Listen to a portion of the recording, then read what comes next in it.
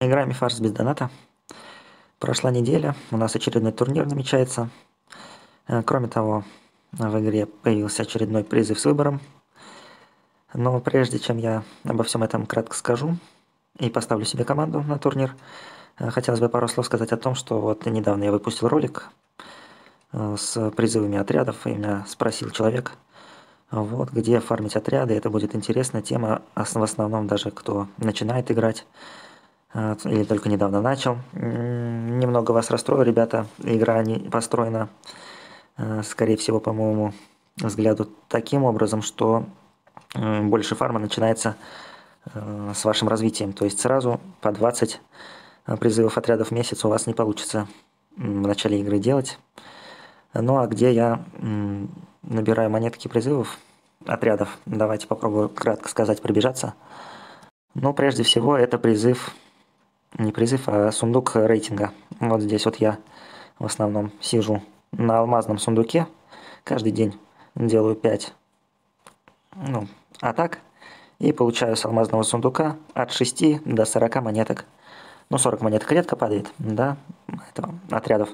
А вот 6-10 иногда монеток ежедневно падают. Но иногда падают эпические монетки героев, так что тоже немного. Так я посчитал, получается. Ну, хорошо, если на 2 призыва 200 монеток выпадет. Ну вот. Монетки я получаю и за все возможные топчики, например, за топ 1% в турнире. Вот вы видите награды, тут иногда падают эти монетки. За ивент ежемесячный типа Excalibur, попадание в топы на редком, эпическом, легендарных уровнях. Там тоже падают монетки.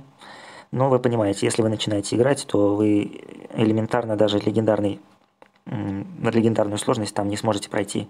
За сезонные сезонные э, этапы, да, вот эти вот сезонные задания тоже там дают монетки. За мифического титана там много дают монеток в... Ну, в основном это, конечно же, не моя заслуга в мифическом титане. Я в топовом альянсе сейчас играю, и поэтому там альянс дружно тянет на топ-1. Э, ну, топ-5, топ, топ, э, ну, в топ-10 попадает альянсов, например. Вот, и я стараюсь там топ-1, топ-5 залететь. Как получается, и там хорошие награды, но могли бы быть, конечно, и лучше. Но в основном давайте вот посмотрим как раз э, мои последние не, недавние действия, да, обзор недавних действий. Вот, за видение, ну, то есть эти видения, ну, это просмотр рекламы, падают монетки. И в основном, ну, к тому, что я сказал, это награды миссии, ну, то есть сундучки. Вот, сундучков, как вы видите, падают. Здесь 40 упало, а здесь 25 монеток. Ну, так, щедро сыпет как-то, но не часто, не каждый раз. Вот, здесь пусто, например, было в миссии. Вот. С Таро тоже иногда падают. Ну, вот это основные такие. Может, где-то я забыл там основные места, где падают монетки. И отовсюду их понемногу скапливается. И, ну, не думайте, что я, у меня так все время было. Опять же, например, полгода назад я в месяц сделал по x13, x14. И даже немного не понимаю сам, откуда у меня такой небольшой прогресс в этом направлении, что уже второй или третий или четвертый месяц я больше 20 призывов в месяц делаю отрядов. Перейдем к установке защиты в турнире. Турнир у нас «Быстрый огонь». А, покажу всего лишь две защиты, которые, на которые мне больше всего приглянулись, понравились. Ну вот, и с центром Веста. Последнее время ставят Весту. Не все, и даже, может быть, немногие. Но так как в этом турнире не будет синих, то красный центр мне кажется более чем логичным. Посмотрим на эту защиту. А, ну, Веста в представлениях не является. Чем она отличительна? Не Веста, это команда тем, что тут одни девчонки, причем симпатичные. вот, это забавно. А что говорить по команде, тут уже без шуток, мне она нравится. Особенно тем, что здесь есть э, такая связка, которую я подметил несколько недель назад. Это связка Веста-Клато. В чем ее смысл? В том, что Веста кидает э, врагу разделение или команде противника, а Клато его при первой же ульте снимает это немножко, ну скажем так, имбовая связка. Получается, она немножко имбует. Вот. Ну, неприятно против этого играть. А, то есть Клатос снимает баф распределения, а баф среза брони от Весты остается не снимаемым, потому что это не баф, а дебаф. Да? Ну, это так. Я думаю, вы все это понимаете. Единственное, что здесь небольшой минус, мне кажется, в том, что хиллеры стоят на краях, вот, они достаточно долго могут не участвовать в борьбе, особенно первое время. Но, с другой стороны, плечи все равно сильные, гульвейк, тала, поэтому неприятная защита. И вторую давайте посмотрим. Я тут разглядывал некоторые, сколько у меня, как получилось. И вот похожая, похожая защита тоже Веста в центре, но только нет здесь клату. Я думаю, конечно же, здесь ее не хватает. Но, но здесь хиллером поставили одного Тесея, причем Тесей тоже с краю. А, ну, все равно интересная защита с тем, в, в том плане, что не знаешь, через какой фланг идти. Вот. Быстрый огонь, все герои быстро, очень быстрые, и поэтому вот эта вот Шива, она неприятная. Тала тоже будет и бывать. Вот. Ну, просто какая-то баланси- сбалансированная такая, кажется, команда. Вот. И по аналогу того, что мы сейчас посмотрели, я поставлю свою защиту. Вот. Скажу вам честно, я уже ставил один раз примерно такую же защиту, но... Но у меня была она чуть-чуть другая. Там, по-моему, был тоже быстрый огонь. Давайте сейчас найдем имбового героя моего, фиолетового, ТПО, да. Здесь поставлю Талу. Думаю, да, лучше Тала. А здесь с краю все-таки Богашиву. Ну, логика простая. Чтобы было неповадно идти слева, оставим таких двух массовиков, очень неприятных героев.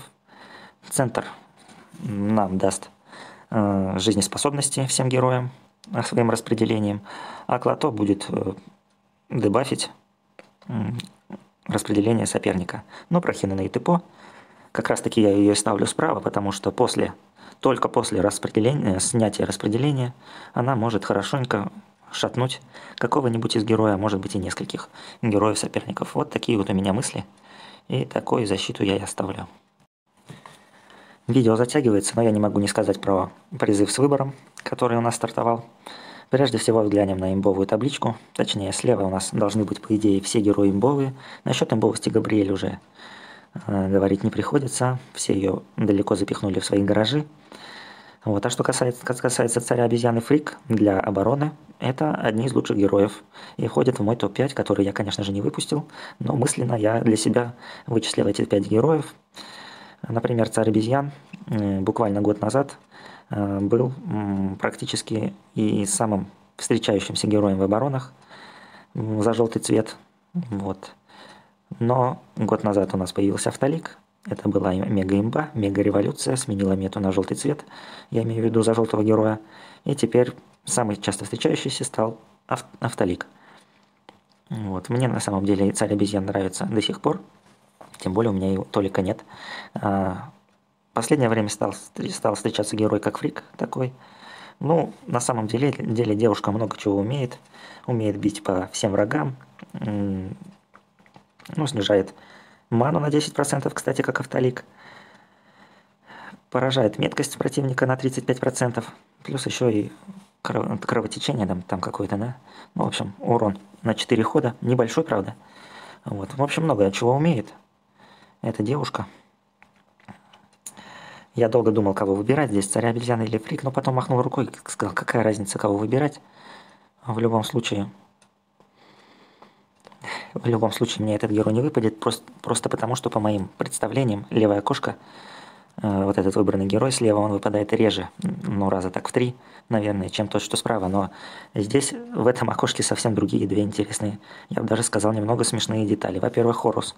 Харек этот стандартный герой. Зачем его сюда запихнули, никто не знает. У ну, я так понимаю, что никто не догадается никогда, да и я сам не знаю, зачем стандартных героев сюда пихать, кому они нужны до сих пор. Ну ладно, будем считать, что для полного, полного числа 15. Второй замечательный момент в том, что Ватан, по моим представлениям, э, герой, который в обороне стоит лучше, чем царь обезьян и фрик, он встречается сейчас по чистоте в оборонах, на мой взгляд, на втором месте. Может быть, я не прав, но во всяком случае он им не уступает. И все надежды, у кого нет Ватана, могут здесь его поймать достаточно благо, ну, с большими шансами. Кроме того, хочу сказать, что желтые герои – Здесь их, конечно, много, четверок я имею в виду. Желтые герои все те, что мне нужны, есть. Это Квака Ананси, это Андреа. Плюс ко всему сюда добавили царя Давида, который здесь король. Вот. И еще какие-то желтые вроде Фре, Фраера. Угу. Ну, мастера черепаху вы видели. Сейчас я призову 5 раз, не уверен, что буду призывать за кристаллы, но может быть через день призову. Вот, потому что хотелось бы календарика дождаться, узнать, какие призывы с выбором. Угу, хрень, у меня его не было, ладно, пусть будет. Какие призывы с выбором будут в следующем месяце, мне интересно. Например, в прошлом месяце были совсем неинтересные призывы с выбором, я поэтому и подкопил. У меня получается копить приблизительно по 1000 кристаллов в месяц. Вот, за два месяца я накопил 2000. Ладно, не будем затягивать. Похоже, после Хрима мне никто не упадет. Отлично, еще один Танатос. Угу. Вот такой вот был выпуск у меня, можно сказать, понедельничный. Всем мира, ребята, берегите себя. Пока.